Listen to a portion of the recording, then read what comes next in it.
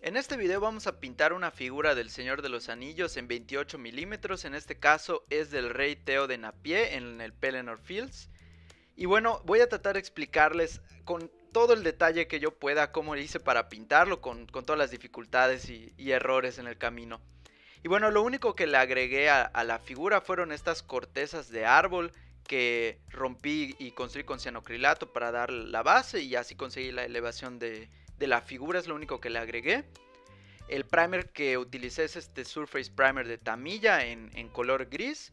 Y toda la pintura que voy a aplicar es sobre una paleta húmeda. En este caso yo utilizo el papel de Stawet de Mastersons que es de uso rudo.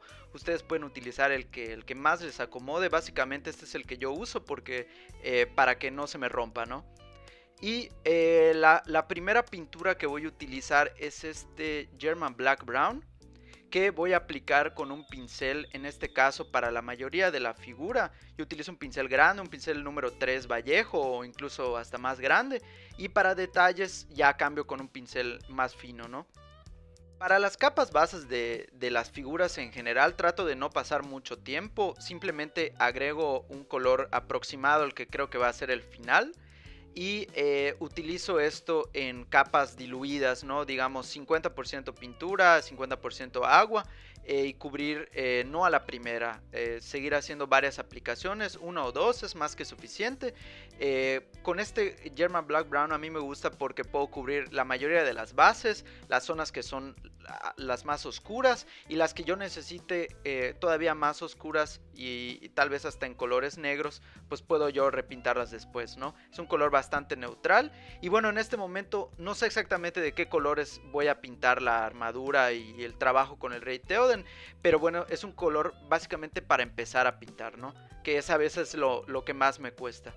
Eh, antes de proseguir voy a agarrar un producto para hacer bases, en este caso agarro este Brown Mod de, Vallejo eh, o a veces utilizo los de Citadel y este los utilizo para tapar algún hueco que, haya dejado en las bases. En dado caso, este como lo armé cuando salió el starter de Pelennor Fields, no me percaté que dejé varios huecos en la peana que luego no voy a poder tapar o voy a tener que, trabajar ya que haya terminado y, y bueno, es todo un rollo. Entonces mejor lo hago de una vez sin más problema, lo aplico en el borde de, la peana y le remuevo los excesos con un papel o con un exacto viejo. Y ya con esto eh, no necesitamos volver a dar imprimación o algo por el estilo como es la base. Simplemente puedo esperar que seque y pintar encima con el, mismo color base no este German Black Brown es, es, un color muy oscuro pueden utilizar negro pueden utilizar café hacer cualquier mezcla. No es, no es muy importante los tonos en general eh, para, sobre todo para las bases, ¿no? Con una lija de modelismo, lija de, uñas o cualquier cosa, eh, podemos nada más limpiar los excesos ya que esté seco este producto y eh, nada más para dejar el borde de la peana lo más liso que se pueda para que cuando pintemos este negro en el borde no se vea con residuos o se vea manchado o algo por el estilo, ¿no? Y ya podemos ver que la peana queda lo más presentable posible, tampoco hay que exagerar o perder tanto tiempo con eso y y simplemente ya que está seco pinto encima con este color. Después voy a utilizar un marrón eh, rojo o un cavalry brown. Eh, básicamente este es un color que yo utilizo para eh, empezar a pintar cueros o cualquier tipo de color rojizo. Y voy a utilizar más adelante también hasta como color base para la piel. Entonces me gusta bastante. En este momento y de igual manera no sé qué tan rojo, qué tan saturado voy a querer hacer la, parte de la vestimenta del personaje. Eh, pero pues este color es, es, bastante neutral. Si lo quiero un poco más oscuro, le puedo dar un, filtro. Si lo quiero más claro, puedo aclarar encima de este sin ningún problema. O lo puedo saturar. Y en este caso también me sirve para pintar la vaina de la espada, los cinturones, para varias cosas, ¿no? Pero bueno, ya con esto voy a utilizar este color de New Wood o puedes, utilizar un café eh, un poco más claro. Lo mezclamos 50-50 con un German Black Brown y empezamos a pintar la primera sección ahora sí de, la figura, ¿no? Para pintar el escudo voy a utilizar una mezcla 50-50 entre este eh, New Wood y el German Black Brown y lo voy a aplicar con el pincel a manera de trazos lineales. Es importante en este caso no tocar los bordes del escudo, dejar esa parte oscura alrededor y dejar las partes divisorias del escudo. En este caso vemos que tiene 6 vetas marcadas muy fuertemente en el escudo, esas no las vamos a tocar, entonces solo voy a pintar en, en cada una de las partes interiores a manera de trazos. Esto lo voy a hacer en varias etapas, cada vez con un color más brillante. Esto para que se cree este efecto de profundidad en el escudo, que eso es lo que prácticamente hace vender que, que, es un escudo de verdad, no de madera.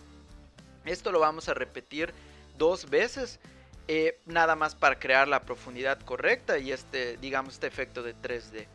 Eh, ahora, es muy importante igual que estos trazos eh, no cubran por completo todas las vetas de la madera. Siempre hay que dejar zonas desiguales, un poco aleatorias para la madera, para que no se vea que, que digo, es un efecto irreal vamos a agarrar esta tinta negra de Vallejo y vamos a crear nuevas vetas y nuevas divisiones sobre lo que eh, son las partes centrales de cada una de las divisiones grandes. ¿Esto para qué? Es simplemente para que tengamos profundidad y tengamos textura en todo el escudo y no solo en las seis partes que, están modeladas en el escudo. Entonces este, esta parte se asusta un poco porque ya estaba bonito el escudo y luego volví a pintar las, las tintas, pero no, no importa, al final eh, terminando el proceso y volviendo a remarcar nuevas líneas de la madera, vamos a crear una profundidad todavía mayor.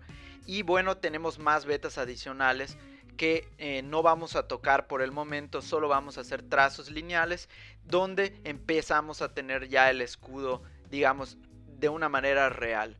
Y bueno, al término de, hacer este escudo donde ya, ya se ve eh, completamente bien, vamos a tirarle un filtro nada más para cambiarle el color con este Agrax Air Shade que vamos a aplicar en, la totalidad del interior del escudo y le vamos a quitar los, los excesos después con un pincel. Y esto nos va a ayudar a ponerle un color bonito a la madera, un poco igual rojizo, para no dejar este, este color de, New Wood. Y ya con eso eh, ya podemos dejar el interior del escudo por el momento, porque es, un área que probablemente vayamos a manchar en el proceso de la pintura, entonces este, podemos dejarlo ahí. Y bueno, pasamos a la siguiente parte que es con la tinta negra que ya puse en la, en la paleta húmeda, voy a empezar a dividir los componentes principales de lo que voy a pintar. Esto le conocen como el black lining o en, partes más grandes como el paneleado y, así. Y esto nos ayuda básicamente a la definición, eh, para que el ojo no, no, no tenga tanta dificultad de reconocer las partes que estamos pintando. Entonces de una vez eh, como todavía no he pintado nada de la figura, pues puedo aplicarlo sin, ningún problema, prácticamente sin dificultad. Y lo puedes aplicar a través de, un wash, puedes washar toda la figura o lo puedes hacer a mano. En este caso, como son solo pocos componentes entre lo que yo tengo en café y rojo, eh, lo hago a mano directamente eh, sin, sin, tener tanto cuidado, ¿no? Para la cuenca o la parte interior de la espada, igual voy a hacer el trazo con la tinta negra de Vallejo y en, ambas partes de la espada, nada más para remarcarlas por el momento, aprovechando que están en la paleta húmeda. Y bueno, vamos a pintar eh, la base del cabello, en este caso va a ser rubio, eh, entonces voy a utilizar la misma mezcla que utilicé para el escudo, que es este 50% German Black Brown y 50% eh, madera nueva. Y bueno, esto lo único es, voy a aplicar la capa base, eh, tratando de hacer eh, en uno o dos coberturas para que no pierda absolutamente nada de detalle, sobre todo en estas figuras del Señor de los Anillos que son un poco más pequeñas que las de 40k o las de Sigmar. Eh, pues es importante no perder eh, absolutamente nada de los, de los pocos detalles que tiene la figura porque ya está bastante pequeña, ¿no? A pesar de que está muy bonita. A continuación les voy a mostrar los colores que yo uso para pintar pieles. Eh, el marrón rojo que ya les había mostrado, elijo un púrpura, por ejemplo ahorita estoy usando los de Game Color. Eh, un tono medio de, piel, el medium flesh tone me gusta mucho, pero igual el, el Sony Skin Tone. voy a agarrar un color salmón en este caso el carne base igual de, model color y eh, las luces las pueden utilizar con, Ice Yellow o por ejemplo estas luces carne igual me gustan bastante, ¿no? Aprovechando. Con estos cinco colores, eh, estos cinco tonos de, cualquier marca son los que normalmente aproximo pintar mis, mis figuras, ¿no? O la piel de mis figuras. Para pintar el rostro de esta figura voy a comenzar con una mezcla 50-50 de púrpura y marrón rojo que es básicamente la base universal que utilizo para pintar eh, digamos las pieles de, todos los tonos que, yo pueda Y esto me va a ayudar a poner estos colores base, sobre todo en las partes eh, de la cara donde requieran los rojos muy intensos o los azules. Y a partir de ahí empezar a poder aclarar el tono de, la cara de la figura hasta... Eh, digamos la tez que, que, yo esté buscando. Entonces esto me va a ayudar a que esta base eh, me va a pintar el interior de los ojos que usualmente es, azul digamos en las ojeras, en la parte muy muy oscura de, del rostro sin tener que utilizar por ejemplo un negro en la parte interior que bueno va a, dar demasiado contraste sobre, sobre la cara entonces eh, me gusta empezar con esta base de 50-50 y bueno mientras lo dejamos secar eh, vamos a, a, terminar el cabello, ¿no? Me gusta empezar primero con el cabello y después por el rostro. Eh, nada más como para ver la interacción, a ver si se ve bien, si uno está más iluminado que el otro y demás. Entonces me gusta eh, primeramente empezar con, con, el cabello, ¿no? Entonces los colores que voy a utilizar van a ser los mismos con los que yo eh, empecé a pintar el escudo y de manera, digamos, con una dilución media, estoy insistiendo en las partes superiores del cabello y en la parte inferior. En la parte media la quiero dejar con un poquito más de sombra, pero de todas maneras es importante que el cabello tenga variaciones y subidas de luz, digamos una gradiente de luz como si fuera digamos una tela, para que se vea que el cabello está interactuando con, la luz. Si dejamos el cabello digamos uniformemente iluminado, eh, va a aparecer este digamos eh, en vez de parecer cabello va a aparecer nada más una figura pues de plástico. Entonces lo que tenemos que intentar hacer es seleccionar un punto de luz eh, que venga principalmente, por ejemplo, en este caso yo voy a utilizar el universal desde arriba y eh, nada más con tinta negra de Vallejo le marqué el centro del cabello, del centro de la cabeza donde se, divide entre dos el, cabello de, Theoden, nada más para, para tener esa, esa división en el pelo eh, que usualmente está en este tipo de cabellos. Y bueno, después de esto agarro nada más el, el New Wood y empiezo a insistir abajo y en la parte de arriba, ¿no? Eh, agarro el ocre amarillo, que es un color que me va a dar un poco más de saturación para, dejar el cabello un poco más rubio. Y empiezo a marcar ahora sí con unos trazos lineales en la parte inferior del cabello y en la parte superior. En la parte superior lo único que tenemos que cuidar es eh, no tocar esa división de cabello que está hasta arriba, que ya, que ya le pintamos. Es lo único que tenemos que eh, evadir y en la parte inferior simplemente eh, pintar en, varias zonas pero de una manera que no sea tan uniforme no entonces eh, por el momento podemos dejar así el cabello y cuando pintemos la cara vamos a ponerle las últimas luces nada más para eh, terminar eh, que, los dos componentes estén eh, integrados al 100, ¿no? Por ejemplo, ahorita nada más le estoy dando las penúltimas luces con este ocre amarillo puro y por el momento así lo dejo, nada más para que el cabello, por ejemplo, no esté más brillante que la cara o, viceversa, Para pintar la cara de Theoden y de la mayoría de los rostros de mis figuras, trato de empezar siempre con este tipo de base marrón, rojo y púrpura y le voy aumentando un color, un color medio de piel, en este caso en medium flesh tone,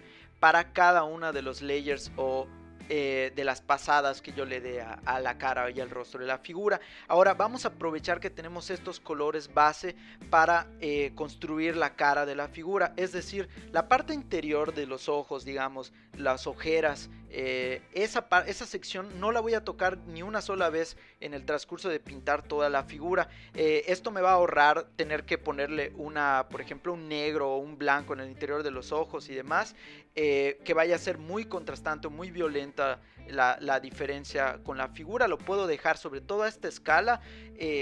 Completamente con este color base. Igual, por ejemplo, este color nos va a ayudar para la parte que conecta, digamos, la nariz con, con los ojos. Esta parte, eh, digamos, lateral de la nariz, esa normalmente es, es de color rojo o de color azul y eh, esta combinación de estos dos colores base nos va a ayudar muchísimo. Igual en la parte de las mejillas, en la parte de abajo eh, y en la parte lateral, esas son comúnmente rojas. Entonces, digamos, esta base que, pongo y que empiezo a agregarle contenido amarillo con nuestro tono medio que es eh, digamos un color arena nos va a ayudar a simular una cara un poco más realista de que si solo tuviéramos el color digamos, el color neutral o el color de carne, ¿no? Entonces, ya que empecemos a construir poco a poco este color, lo vamos a hacer sobre las zonas importantes de la cara. Es decir, vamos a empezar a subir eh, el contenido de amarillo en la cara, en la frente, en las cejas, en la parte superior de las mejillas y en la parte central de la nariz. A veces hasta en la parte eh, superior de la boca podemos dejar unos puntos de luz amarillos por ahí, pero esto nos va a ayudar a construir una tez que tenga tonalidades muy diferentes de colores. Pero el objetivo ahorita, cuando estoy pintando la cara, es llegar a ese contenido y a ese test que sea aceptable para, para este personaje en particular. Ya que llegamos a una tonalidad adecuada para el personaje, ya podemos empezar a trabajar en los volúmenes de la cara. Es importante hacer estos volúmenes y trabajar en estas luces y en gradientes ya que llegamos a la tonalidad adecuada para que eh, no, no, trabajemos todas las luces y todos los volúmenes y luego nos demos cuenta que el personaje era más pálido o era más moreno, eh, etcétera, ¿no? Entonces es importante, eh, bueno, al menos yo trato de solamente empezar a trabajar los volúmenes cuando yo ya llegué a la tonalidad o a la tez adecuada del personaje y por eso siempre trato de pintar el cabello o tengo algún personaje que yo ya he pintado antes que me dé una referencia de qué tan de, qué tan moreno o qué tan pálido es, es, la piel que yo quiero pintar. Entonces ya que termino agarro el tono medio de piel y empiezo a insistir en esas zonas donde eh, para crear los volúmenes y las gradientes eh, súper suaves. Esto lo voy a hacer en las mejillas, en la parte de la nariz, en las cejas y en la frente. ¿no? Por el momento voy a pintar la barba del mismo color que estoy pintando el cabello, que usualmente igual es el mismo color que, que, se pintan las cejas. Esto lo voy a hacer con los mismos colores que hice el cabello, el New Wood y el amarillo ocre. Eh, que voy a, tratar de cubrir, no al 100% toda la parte café y oscura que, que, yo ya pinté. Y ya con esto es más que suficiente. Solo le faltarían las luces finales que le voy a meter con, con un Ice Yellow de manera posterior. A continuación viene una etapa que a mí me gusta muchísimo, es la que más me emociona cuando pinto las figuras, es la parte de aplicar un skin wash. En este caso va a ser un pequeño filtro rojizo, puedes utilizar el Rayclan Flesh Shade, el, Overlord Shade de, muy bueno de tono rojizo, este tono de skin wash de, de, Vallejo que voy a combinar al 50 con el tono medio de piel y se lo voy a agregar en las partes que usualmente son más rojas en la piel, en la parte inferior de las mejillas para lograr una gradiente bonita de entre este rojizo que va subiendo hasta ser un amarillo hasta llegar a un blanco puro en la parte que conecta la nariz con los ojos es usualmente es, rojo la punta de la nariz eh, comúnmente roja en algunas personas y la parte de la boca y ya con este digamos este pequeño filtro rojizo empieza a cobrar vida ya el personaje ya es en este punto donde yo ya solo tengo que trabajar las luces finales de, de el sujeto que yo esté pintando y esto lo voy a realizar en breve con eh, en este caso con el color Ice Yellow de Vallejo combinado con eh, blanco para el tema de la piel y para trabajar eh, el cabello y la barba le voy a poner este ice yellow combinado con ocre amarillo. Pero es importante que esto lo sigamos haciendo con pintura con una dilución muy baja para que no creemos ninguna transición fuerte y que siempre lo hagamos cuando la pintura esté completamente seca, ¿no? Entonces en esta parte del video estamos viendo cómo estoy insistiendo en la parte superior de la mejilla, en la parte de la nariz y en esta parte que se forma arriba de la ceja. Esas son comúnmente las partes donde más iluminado va a estar y es importante darle un buen contraste a la figura sobre todo mientras más chica el contraste tiene que ser más brutal comparado como por ejemplo una figura de 75 milímetros que tal vez no lo tenemos que iluminar eh, tan violentamente porque la figura está más grande. Entonces, bueno, solo es manera de darle estos luces carne y estos blancos a las partes que más lo necesite la figura, usualmente en, el, en un punto en la ceja, eh, en la parte de la frente si se forma, eh, tal vez son algunas líneas de expresión. Esto nos ayuda muchísimo a darle personalidad al a lo que estemos pintando, ya sea a los gestos que estén teniendo. También nos, nos sirve muchísimo un punto, eh, sobre todo arriba de la boca, en la parte media de la nariz. Esos son eh, pequeños detalles y últimos detalles que nos van a, ayudar a darle volumen a la cara, ya que rápidamente cuando alguien observe nuestra figura eh, no tenga que pensar en absolutamente nada y, y el 100% vea eh, que es una figura humana, ¿no? Que no tenga ninguna, eh, digamos, lo, que lo primero que te digan al ver tu personaje es, oye, sí se parece al de la película o sí parece, digamos, a, un marín que ha estado en combate.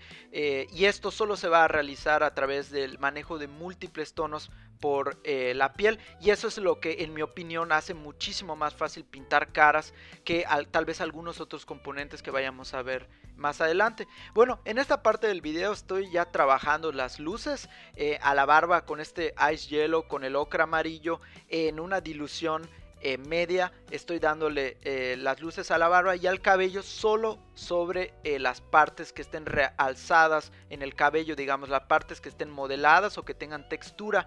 Esto es importante que lo hagamos solo en esas partes y que no vayamos a cubrir todo el trabajo previo que hicimos porque es muy fácil con esta Ice Yellow empezar a desaturar nuestros colores y volverlos... Eh, precisamente con este tono de Ice Yellow que sí es muy bonito pero luego eh, nos puede pasar que ya pintamos toda una transición amarilla con una variedad de colores y a la hora de dar las luces eh, ya lo volvimos todo este último tono que es muy poderoso entonces nada más utilizarlo con eh, bajo medida no y bueno, así terminamos la cara, el cabello y la barba del rey Theoden y podemos proceder a pintar ahora sí la parte más extensa que es la armadura.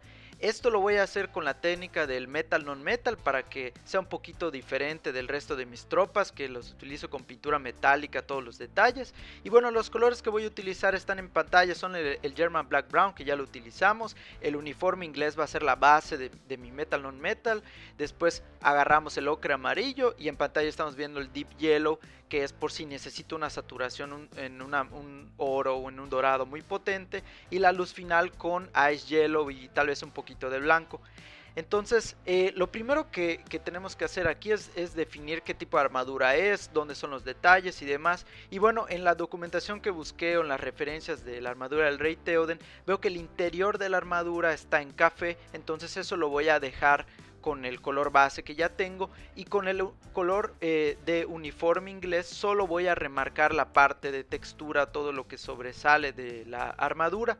Esto lo voy a hacer eh, tratando de que mi pincel no tenga un exceso de agua, un exceso de pintura para que vaya a correr y manchar este, este café, ¿no? Entonces solo quiero eh, marcar todo lo que sobresale, todos los detalles de la armadura.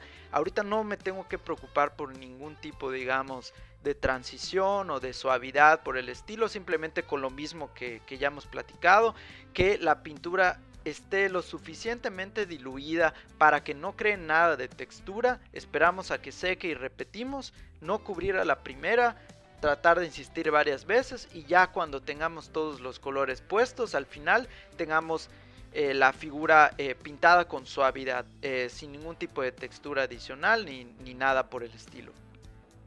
Igualmente para la parte de la espada la voy a pintar eh, de la misma manera. Tuve que buscar un diagrama de los, de los, nombres. Aparentemente esa es la guarda. Y la parte de abajo es el, el, el pomo de la espada. Que igual eh, voy a, pintar con el mismo color de uniforme inglés. Solo cuidando de no cubrir por completo eh, la parte del, del German Black Brown. Que va a ser la última sombra. Que va a estar en las partes bajas de la espada o en las partes interiores también. Igual aquí en la vaina eh, busqué que se llama contera, este pequeño detalle que va en la parte de abajo de la vaina. Y en la parte superior el brocal o, la boquilla, eso igual lo voy a pintar con este mismo color. Básicamente los detalles de, de la vaina. Y eh, esto lo voy a pintar igual con el mismo uniforme inglés para que tenga toda la figura, digamos, el, mismo detalle, en, digamos, materiales similares. Aquí en el interior del escudo, de la agarradera del escudo, veo que hay algunos eh, detalles ahí eh, que, se le pusieron nada más igual con este mismo color de uniforme inglés. Le voy a dar en los detalles sin cubrir las partes oscuras que van alrededor para que tenga un buen contraste. Y bueno, ya empezando, entrando en materia, el, metal non metal en, dorados es, es, algo complicado, ¿no? En oros hay muchas tonalidades, muchos diversos colores. Pero bueno, lo que necesitamos hacer en estas figuras de, digamos, del Señor de los Anillos, que son bastante pequeñas, es tampoco complicarnos mucho con, con diversas fuentes de luz o diversas direccionalidades y, demás. Entonces voy a tratar de, de, hacer una, un metal on metal que me indique la figura. Entonces básicamente, ¿qué estoy tratando de ver? La cara la pinté más o menos de que la luz me venga en, el, la dirección de la espada. Entonces eh, de, cómo viene la espada, ahí estoy trazando la luz. Entonces, en la parte de abajo de la armadura del lado izquierdo o el lado derecho que vemos en pantalla, eh, ahí viene, ahí le estoy situando las luces abajito. Y en la parte central del, pecho, de la pechera de, de la armadura, igual ahí voy a insistir un poquito con este color de ocre amarillo y en la parte central y en la parte de abajo de donde ya cubre digamos eh, los muslos eh, allá de la armadura del rey Theoden en las partes, solamente en las partes superior.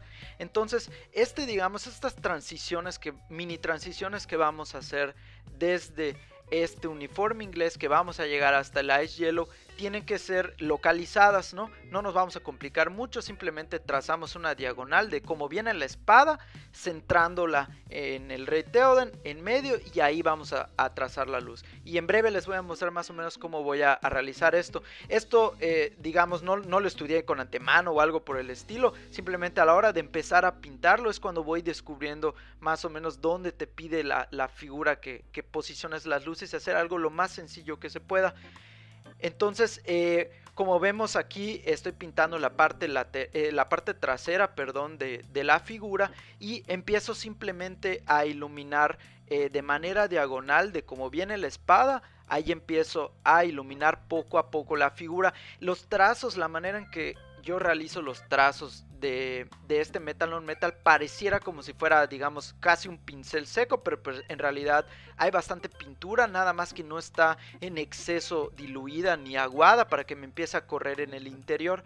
Si la armadura, por ejemplo, fuera plana como los Stormcast o otro tipo de, personajes que estemos pintando, tendríamos que hacer eh, una técnica tal vez un poquito diferente con las transiciones porque si ya necesitaríamos la pintura un poquito más diluida. En este caso, con una dilución media estamos perfectos y estoy empezando a trazar esos puntos de luz donde, donde yo creo que eh, debería de estar más iluminado.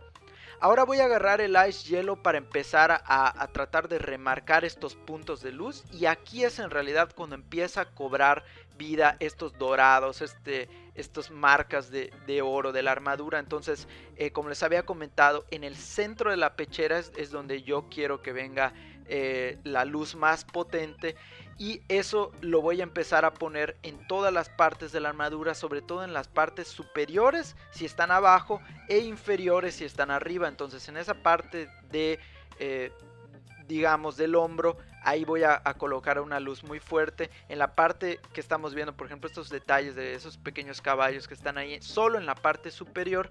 Y no, no estoy haciendo gradientes, digamos, muy complejas, simplemente de la parte superior viene la luz más fuerte y en la parte inferior eh, la sombra más fuerte. Entonces ya con estos detalles del Ice Yellow ya empiezo a tener este efecto de una armadura metal on metal. Ahora es importante resaltar que con mientras más Ice Yellow le pongamos a la figura o mientras más eh, digamos luces frías estemos poniéndole vamos a estar perdiendo un poco de saturación del amarillo. Es decir que el amarillo va a quedar cada vez eh, digamos en vez de que sea un amarillo como el Deep Yellow que, les mostré es un amarillo un poco eh, pálido.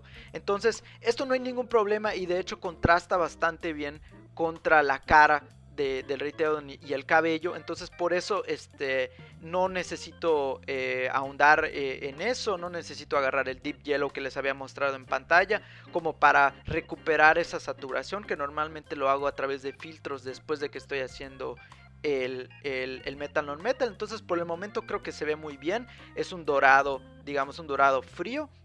Y eh, vamos a agarrar ese mismo eh, Ice Yellow y aprovechando que está la espada solo en la parte superior, le estoy agregando esos pequeños puntos eh, de Ice Yellow. Todavía no me preocupo por la transición, digamos, una transición perfecta, hasta que ya tenga el máximo punto de luz y el máximo punto de oscuridad para ya ahora sí trabajar este las gradientes, ¿no? Eso, es, eso se tiene que hacer de último. Bueno, no, no se tiene que, hacer de último. Yo usualmente lo hago lo último. Eh, nada más porque, pues, normalmente cuando yo pinto no tengo un plan eh, exacto, preciso que seguir. Porque la, mayoría de las veces no sé lo que estoy haciendo y lo estoy descubriendo en el momento, ¿no? Entonces, precisamente ese es el objetivo de hacer este tipo de, de videos. Nada más para, para explicar eh, de las cosas que yo he tenido dificultad y cómo las voy resolviendo mientras me van saliendo, ¿no? Eh, pero bueno, ya regresando en materia, eh, en este Ice Yellow lo combiné con un poquito de blanco y en las zonas donde yo ya determiné la mayor cantidad de luz, ahí le voy a poner estos trazos de blanco que ya me hacen llegar a la, luz máxima, ¿no? En, la misma corriente, tratando de, hacer estos impactos de luz en una línea recta eh, para que eh, el ojo lo, relacione rápidamente. Lo único aquí es que con, tanto blanco, con tanto ice yellow, empezamos a perder un poco el color eh, amarillo, que, no es ningún problema por el momento y, se puede recuperar con, el ocre amarillo o si lo queremos más potente con el deep yellow se puede recuperar. pero por el momento, mientras más voy aplicando el blanco, me va gustando este tono de, de dorados fríos que contrastan bastante bien con la cara o con el pelo que hayamos elegido. Entonces ya con estos últimos puntos de blanco eh, que aplicamos, igual eh, la pintura tiene que estar con una dilución media para no crear nada de textura y solo infligiendo en ciertos puntos ya cuando la figura está completamente seca. Con algunos detalles más que le, que le pongamos en, sobre todo en esta parte central de la armadura, podemos dejar por el momento eh, la armadura completada y pasar a otra sección. Lo siguiente que vamos a pintar es la espada de Theoden llamada Herugrim con estos tres colores negro, gris frío y blanco. Y lo primero eh, que hago es pintar con este gris frío toda la parte de la espada por si tengo alguna mancha por ahí que haya hecho con el, German Black Brown de base o algo por el estilo, tratando de no tocar la parte central que es el acanalamiento según estoy viendo en este esquema que acabo de, buscar, pero de todas maneras ni lo conseguí, entonces agarro la tinta negra de Vallejo y marco otra vez la parte de la espada y pues de todas maneras todo esto lo voy a trabajar en, todo el filo de la espada, entonces no necesito que sea tan preciso. La manera en que voy a trabajar esta parte de, de la espada, este lado, va a ser con la técnica clásica de, metal non metal de las dos luces opuestas. Entonces eh, esto lo podemos encontrar en, los primeros Golden Demon, en los White Dwarfs clásicas, eh, donde básicamente tenemos dos luces eh, simétricas y, opuestas, ¿no? con las sombras exactamente en la otra sección. Esto lo vamos a hacer primeramente colocando las luces en la parte superior derecha y en la parte inferior izquierda y opuestas a ellas van a ir las sombras. Eh, lo único que voy a tener cuidado en esta espada son dos cosas. Uno, nunca aplicar una capa si no está seca la anterior para no crear nada de textura. Y la segunda, tratar de tocar lo menos posible esa, esa línea central o acanalamiento eh, para que le dé un poco de estructura o volumen a, la espada que estoy haciendo.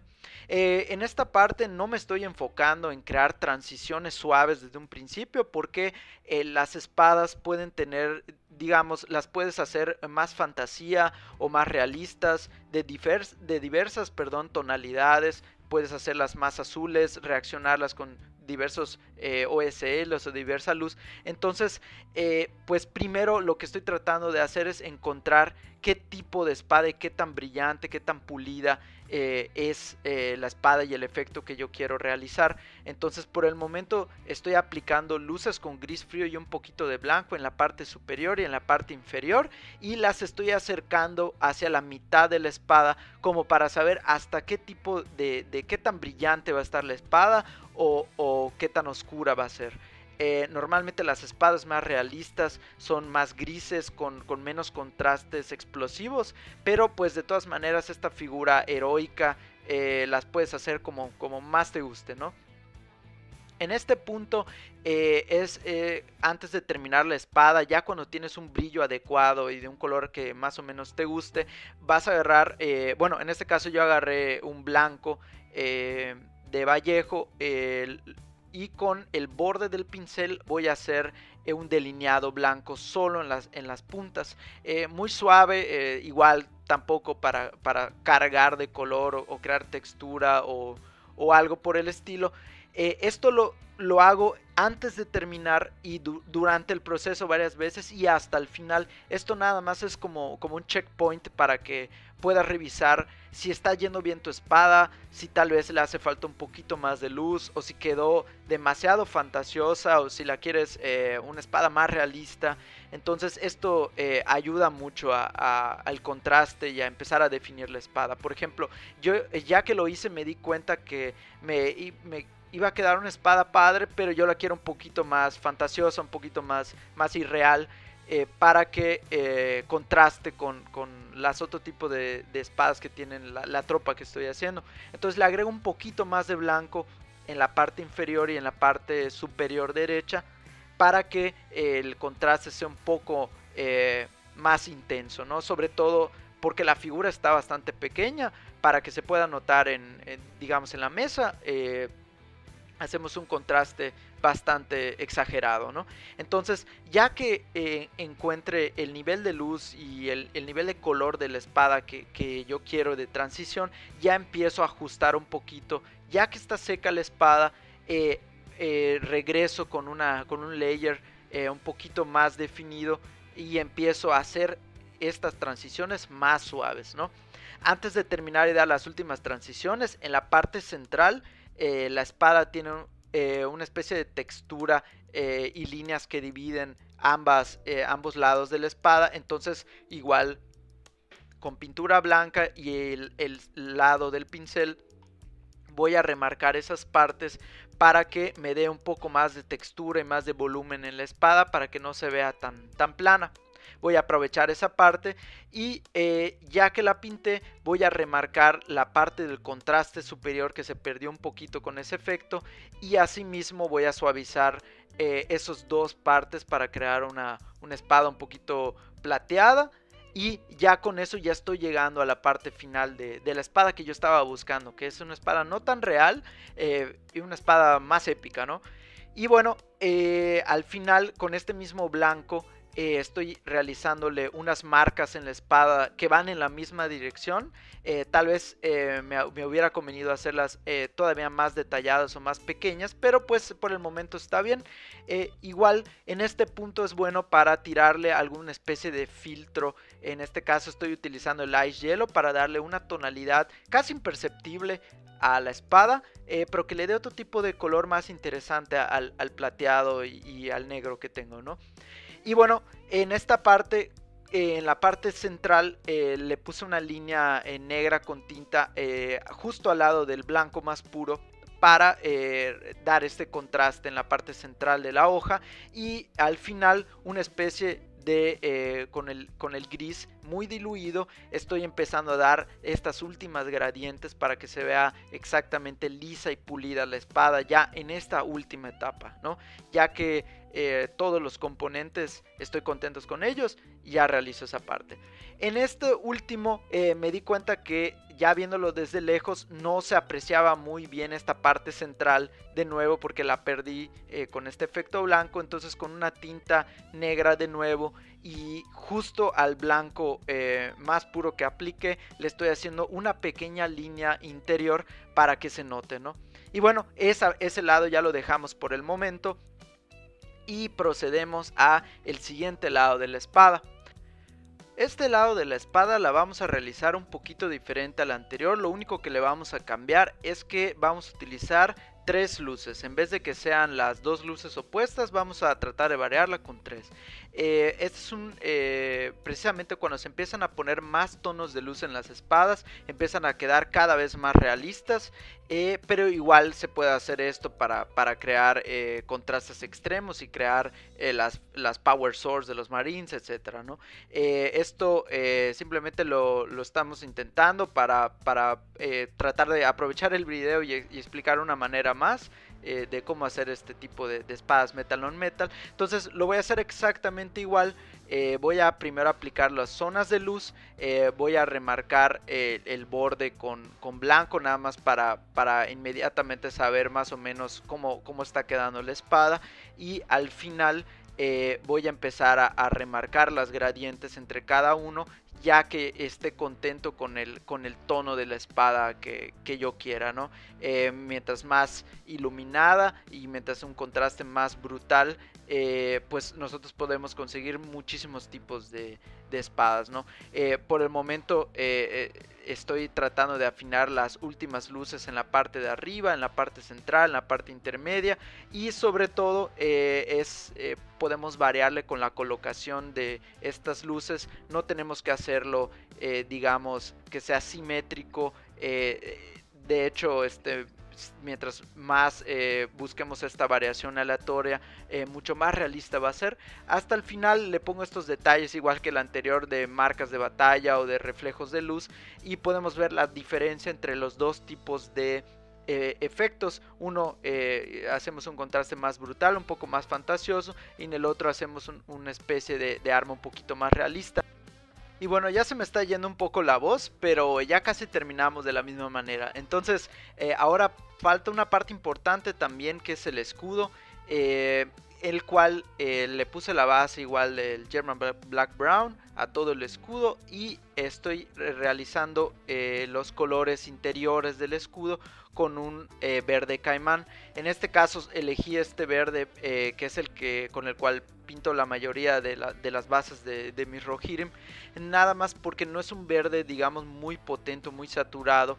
Y es, importante esto porque no tenemos ningún color similar en el resto del personaje. Agarramos este eh, marrón rojo de nuevo y voy a pintar la parte interior de estos detalles. Esto de acuerdo a pues las referencias que tengamos. Y si es importante eh, digamos eh, no tener tantos colores diferentes sino en, la manera que se pueda tratar de relacionarlos con los colores que usamos en la misma figura. Utilizo este, esta tinta negra de nuevo para hacer el black lining en todas las partes que definen el escudo. En esta parte la verdad es más fácil hacerlo con un wash un wash negro como el, el Nun Oil, por ejemplo. la única razón de la que trato de usar la menor cantidad de, lavados posibles es que eh, en este tipo de figuras que son completamente mate, eh, a la hora de hacer varios lavados quedan las superficies un poco glossy, un poco brillantes y bueno, eso nos puede causar un, poco de problemas a la hora de eh, integrar la figura completamente. Si tuviera metálicos no, no, tendría tanto problema, pero en este caso está la figura completamente mate y tampoco quiero que me empiece a dejar diversas marcas eh, sobre todo en áreas grandes, no como esta. Entonces, este, lo hago a mano. La verdad es un poco más tedioso, pero al, final de todas maneras voy a terminar cubriendo esto, entonces no necesito ser tan específico, ¿no? Bueno, después de que he, hecho este delineado de, los componentes un poco para ayudar a la definición, eh, marco un poco con los colores centrales y ahora sí voy a empezar a trabajar el, el escudo y los detalles metálicos del mismo escudo. Esto lo voy a usar con la misma receta, ahorita un poco de uniforme inglés combinado con este German Black Brown y luego ahorita encima solo el uniforme inglés. Aquí estoy utilizando la pintura con un eh, digamos bastante aguada, con una dilución alta. De hecho eh, vemos en la figura el, reflejo de, del agua de, de la dilución de la pintura. Este, entonces esto es importante para que podamos lograr transiciones más fácil y eh, digamos en, sectores grandes de la figura podamos realizar estas gradientes mejor. Lo único malo de esto es que si de una vez que das una pasada lo tienes que dejar secar por completo. No puedes seguir insistiendo porque si no se va a empezar a acumular la pintura en esa sección. Entonces eso es lo único que tenemos que tener en consideración. Y bueno, eh, para los temas de la luz, eh, cuando estamos ubicando este, simplemente en la parte superior del escudo, ahí es donde voy a poner la máxima luz. Y en la parte central del escudo, cuando lo estamos viendo, eh, viendo perdón, de esta forma, la verdad es bastante difícil poner las luces en cada uno de los componentes porque es un escudo digamos lleno de detalles entonces la manera que lo voy a aproximar primeramente es voy a cubrir todos los detalles, eh, digamos, metálicos del escudo, de acuerdo a las referencias que tenemos en este uniforme inglés. Y después de eso voy a empezar a iluminar de una manera casi casi universal, solo para sacarle los detalles a la mayor cantidad del escudo, eh, porque si nos ponemos a, dar diferentes puntos de luz, ya va a quedar demasiado complicado y demasiado, eh, digamos, ocupado el escudo demasiado desordenado, ¿no? Entonces lo que voy a hacer es primeramente cubro todos los detalles del escudo como estamos viendo en, la pantalla, eh, que van metálicos con este color de, uniforme inglés y ya después de eso nos vamos con un color eh, que ya hemos utilizado con la misma receta de, digamos de este dorado con el ocre amarillo entonces lo que vamos a empezar a hacer es incidir en las zonas eh, de luz que primeramente vienen de arriba en esta forma diagonal del escudo. Y bueno con este uniforme inglés simplemente con esta aplicación podemos ver el contraste entre este dorado frío o casi casi pálido de la armadura de Theoden a un eh, color un poco más arena del cabello. Y en el escudo queremos eh, hacer una tonalidad diferente al escudo eh, de, cierta manera para que no esté muy monótona nuestra figura.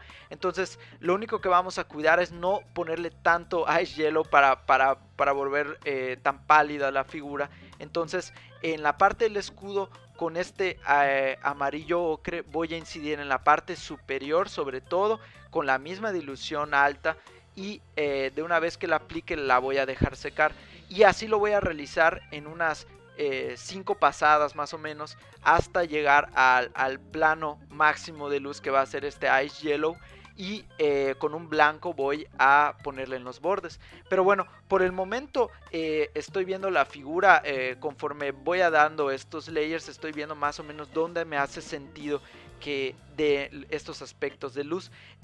estando viendo la espada, Estoy viendo que quedó demasiado, eh, digamos, demasiado fría con este, con este color de ice yellow que tal vez me fui demasiado.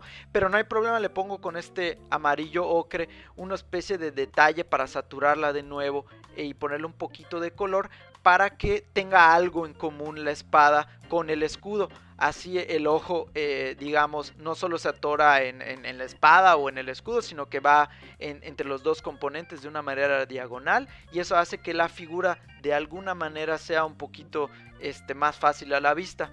Bueno, con este color ya amarillo ocre voy a empezar a resaltar algunos puntos de este uniforme inglés que yo ya pinté como base y lo que voy a hacer es que voy a empezar a pintar las puntas de cada uno de estos adornos que tengo en el escudo. Entonces me voy con básicamente con una iluminación irreal pero pues al final de cuentas como es un escudo extremadamente ocupado pues eh, simplemente voy a resaltar la parte de los vértices o la parte que digamos eh, más, más luz pueda tener de, una manera universal, ¿no? Como si le estuviera dando el sol directamente al escudo. En este punto estoy utilizando este amarillo ocre para remarcar la parte de las luces en, la eh, en cada parte superior de los componentes y en la parte donde se unen eh, las aristas de cada uno de estos eh, detalles de la armadura. en este momento voy a mezclar con un poquito de amarillo hielo y eh, nada más que tengo que ser muy cuidadoso para no eh, hacer un escudo con una tonalidad eh, muy igual a la del resto de la armadura. Quiero que tenga un tono más en común con la espada que con el resto de la armadura para no hacer un personaje muy monótono o tal vez con el mismo material absolutamente todo. ¿no? Entonces quiero dejarle un brillo diferente, un poco de color más amarillento y bueno, esto lo tengo que realizar con mucho cuidado. Voy a iluminar si la parte eh, donde, donde directamente queda en la diagonal de la luz, pero voy a tratar de ser más moderado eh, con este color amarillo eh, que con el resto de la armadura que sí la quería hacer un poco más pálido, más, más diferente con respecto al cabello y al rostro del rey Theoden. ¿no? Con este mismo color empiezo a remarcar entonces cada una de las partes superiores para crear, empezar a crear estas mini transiciones del metal non metal.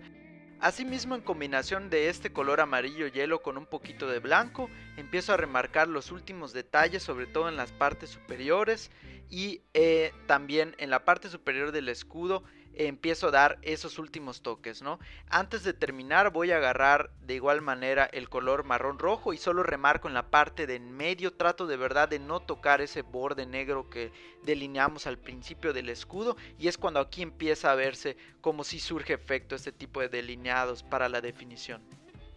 En esta parte con amarillo, hielo y blanco también estoy dando eh, los bordes y los ilumino eh, de cierta manera para crear estas luces sin necesidad de cambiar la tonalidad y, el color amarillento que, tengo en el escudo a diferencia de, la armadura por ejemplo. De la misma manera el interior verde que, que, nosotros pintamos le puse un poquito de blanco y ese color así grisáceo lo marco solamente en la parte media de cada uno de las partes verdes que se puedan apreciar en la armadura y eso le da un poquito más de profundidad. Entonces ya el rojo ya tiene un poco más de profundidad y el verde también y ya solamente nos falta algunos detalles que la verdad no había visto en el escudo hasta que eh, pensé que ya había terminado con este verde que es básicamente esos puntos cardinales que, tenemos ahí que voy a pintar en cierta manera eh, de gris de un metal un metal gris eh, a su lado para que tenga algo en común con la espada y también para la cota de malla que todavía nos, nos falta pintar este, en la parte de la armadura del rey Theoden que igual lo vamos a hacer en, en, colores grises, en, metal non metal. Entonces estos puntos cardenales básicamente lo hago igualmente que, que la espada. Eh, pinto básicamente el color eh, gris frío y encima de eso voy aclarando en, la parte eh, digamos de cada uno de ellos en la parte superior de cada uno de ellos le pinto el blanco hasta, hasta quedar una, una mini gradiente no de la misma manera que la espada pero sin ser tan precisos. Después vamos a mi shade favorita por el momento. No estoy patrocinado por el Overlord pero si gustase eh, adelante. Eh, la Unnatural Shade del de, Overlord es la que eh, estoy utilizando para darle esta tonalidad a los rojos. Noté que el rojo que tenía todavía, no, como no lo había trabajado, le doy primero un shade eh, a manera de wash básicamente a, todo el rojo para después regresar con este eh, color de marrón rojo que después voy a terminar esa parte, ¿no? Pero mientras seca voy a trabajar en la cota de malla que primeramente voy a pintar del negro de Game Color eh, que es eh, un color eh, genial para, para, el Metal Non Metal porque tiene un ligero brillo parecido al Abaddon Black y eso es lo primero que voy a hacer en preparación para, para la técnica de Metal on Metal y ahí vemos en la pantalla cómo se está secando este, este shade del Overlord que le da una tonalidad un poco más oscura al color sin dejar ninguna mancha tipo de café como algunas otras shades del mercado. Y bueno vemos el gris frío y el negro son los únicos colores que vamos a, a utilizar además del blanco para empezar la cota de malla para realizar el pintado de una cota de malla en Metal on Metal siempre empiezo con un gris frío y en una dilución de un 75% eh, gris frío con agua. Entonces de manera que yo voy a empezar a incidir en las zonas de luz que hacen sentido con la armadura que yo ya pinté dorada y con el plano de luz que viene de la espada para elegir ciertas zonas que van a estar iluminadas en la cota de malla y eh, los otros lados van a estar oscurecidos. Entonces esto le va a dar el aspecto de que es una propiedad del material que está reaccionando con la luz. Entonces de la manera que lo hago es que empiezo con una dilución baja y empiezo a remarcar solamente en las partes donde yo quiero crear estos planos de luz. Entonces en esta parte puedo ver que esta diagonal impacta directamente la parte superior de esta parte trasera de la armadura y la parte muy inferior igual la parte lateral solo el borde. Entonces esto lo voy a hacer con esta dilución baja y mientras se está secando yo puedo aprovechar que se está secando la pintura y puedo utilizarlo digamos de manera clásica como pincel seco pero como yo ya apliqué la mayoría de la pintura lo que queda ahí es prácticamente nada entonces el resultado es bastante sutil y no me va a generar el, clásico acumulamiento de tiza o de gis que puede causar cuando se usa nada más un pincel seco de una manera con una sobrecarga de pintura, ¿no?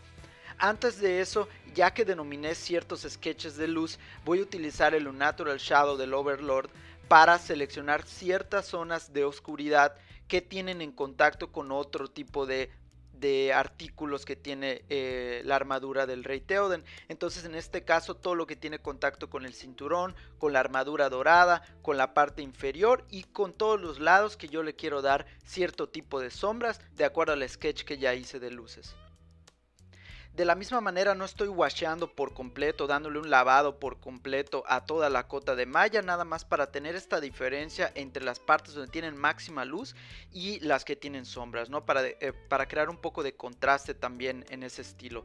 Eh, y aquí eh, con el pincel de gris frío ya con 50-50 con blanco, estoy aplicando solo en esas zonas de máxima luz donde ya denominé que al menos a mí me hacen sentido que ahí es donde más ilumine donde más pega la luz. De la misma manera, cuando se va secando el pincel ya casi no tiene nada, entonces puedo utilizar, eh, digamos, a pincel seco eh, las partes donde, digamos, no hayamos alcanzado eh, con el pincel con la aplicación normal. Pero digamos ya tiene tan poca pintura que no nos va a generar nada de textura. Y también como estamos utilizando una técnica mixta de que la estamos aplicando luego utilizamos pincel seco luego le tiramos unas sombras y luego regresamos a marcar individualmente si se necesita cada uno de los componentes o cada una de, la malla eh, de la armadura eh, así vamos a crear un componente interesante para hacer este tipo de armaduras. Entonces eh, para terminar lo único es eh, bastante sencillo. Agarro blanco puro aplico ciertamente en la dirección donde va la cota de malla y ya cuando se va secando me voy a la inversa para tratar de, sacar algún tipo de contraste y para remarcar algunos tipos de textura que estén ya en el modelo, ¿no? Y terminamos, eh, ya está la armadura eh, hecha.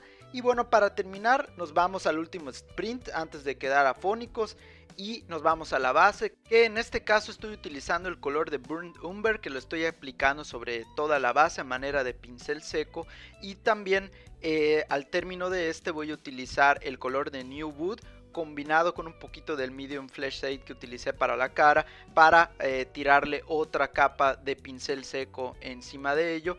Y después de eso le voy a tirar un wash completamente a toda la base utilizando este Agrax Earth Shade que prácticamente sí se lo aplico a, toda la base no eh, eh, terminando y ya estando bien seco le voy a poner aquí el pigmento de Vallejo en este caso para eh, cambiarle un poco la textura a la base, para ponerle algunos de los componentes más interesantes, pero aún así, eh, digamos, no la voy a hacer tan complicada o algo, de todas maneras está situada digamos en el campo de batalla. Entonces por el momento eh, simplemente con unos pigmentos y así no le voy a poner tampoco tops ni nada por el estilo podemos dejarlo. Le voy a agregar un par de washes en la parte de, abajo sobre todo de, la peana para darle un poquito más de contraste. Pero digamos en cierto sentido la voy a dejar lo más simple y sencilla que yo pueda para que pues también esté en contraste con toda la figura que sí está un poco más trabajada no ya que termino de eh, pintar la parte de los pigmentos y aplicar los washes en la parte de abajo, eh, voy a aplicar el, igual en Metal on Metal con la misma receta de la armadura en la parte de todos los detalles que cubren y protegen los pies y, los talones y todo lo demás, ¿no? En este caso no lo voy a hacer tan brillante como lo haría con el resto de la armadura, ya que pues este, al estar en el campo de batalla pues eh, tiende a, llenarse de tierra, tiende a mancharse y bueno, no, no, no son tan brillantes, ¿no? De todas maneras, esto lo hago ya de último, habiendo pasado la etapa del pincel seco en la base, nada más para no tener que retrabajar y bueno, esta parte es más sencilla porque no necesitamos un brillo tan perfecto ni un, ni un contraste, porque bueno, esta parte está directamente en contacto con, el piso y con la tierra, entonces simplemente utilizamos los mismos colores y listo. Para la parte de los detalles finales, eh, marcamos la vaina con este color de New Wood. Igualmente pintamos con ese mismo color el cinturón de eh, la figura. Y bueno, con este color luego le vamos a tirar un pequeño eh, lavado con el skin wash solo para cambiarle la tonalidad porque a la hora de que lo dejé así bueno se vio un poquito eh, un, color bastante similar al resto de la base no eh, nada más antes de eso vamos a aplicar eh, este mismo color de marrón rojo lo voy a utilizar como el color final para esta parte del cuero rojo o las vestimentas interiores de la armadura del rey Theoden que me gustó mucho no necesité subirle de saturación o de color entonces por eso apliqué el shade del overlord para que me dé un poco de tonos oscuros y luego regresé encima con unas luces y eso es más que suficiente para el, nivel de saturación o de coloración que estoy buscando para el interior. Tampoco para resaltar demasiado, simplemente para que tenga en común con el interior del escudo, que se vea que es rojo, pero que tampoco esté robando eh, la mirada, no que sea lo primero que se vea. Aquí estamos viendo eh, en esta parte cómo estamos aplicando estos filtros rojos eh, sobre los cinturones o sobre el cuero, que es eh, digamos el New Wood y este Skin Wash son, geniales para, para empezar a, a practicar los cueros y, de diversas tonalidades, igual aplicándole un poquito de naranja o por ahí podemos lograr muchísimos tonos, pero por el momento nada más aplicando este wash logramos ya cambiarle un poco el tono para que sea diferente a la base. En, parte eh, ya finalizando, se los prometo en los guantes, eh, nada más aquí voy a aplicar igual con este sombra tostada un poco de luces en la parte de la mano, pero tampoco extremos para que parezca que, es piel. Entonces simplemente le voy a remarcar la parte de los dedos eh, de cada uno de ellos y eh, sin ponerle demasiadas luces o insistir demasiado, simplemente para que se vea que está utilizando unos guantes de cuero o algo por el estilo, es suficiente para dejarlos por el momento. Entonces eh, traspaso la miniatura ya con ayuda de, TAC este, para poderle pintar eh, toda la base negra, en este caso con este mismo negro de Vallejo, un poco, un poco gloss, como ya se me acabó el Abaddon Black.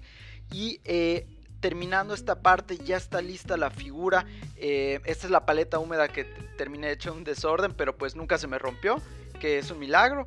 Y bueno, eh, aquí está terminada la figura. Espero todos estos tips y este recuento les hayan servido, les vayan a servir eh, para que vean más o menos cómo es el, proceso creativo, todos los errores que también hago eh, al pintar una figura. Y bueno, espero que de verdad les haya servido. Yo ya, la verdad, ya me quedé sin voz y estoy narrando demasiado rápido, pero de nuevo les agradezco su tiempo y espero se pongan a pintar muchísimo. Gracias.